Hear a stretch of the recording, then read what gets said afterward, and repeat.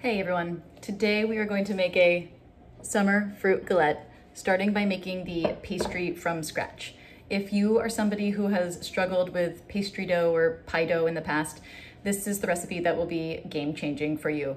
It's so simple, it comes out buttery and flaky every time, and the method is basically foolproof.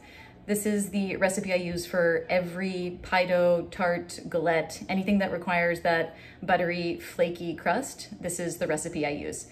I am going to use a mix of berries today, but know that you can use this with really any fruit that is in season or any fruit you like. It's particularly good with peaches, plums, nectarines, all of the stone fruit, but it's also really good with apples and pears in the fall. I love it with rhubarb.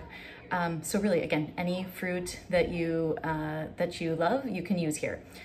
I'm gonna make the pastry first in the food processor and then at the end by hand. So stick around to the end if you don't have a food processor. Um, I hope you love it. Let's make it.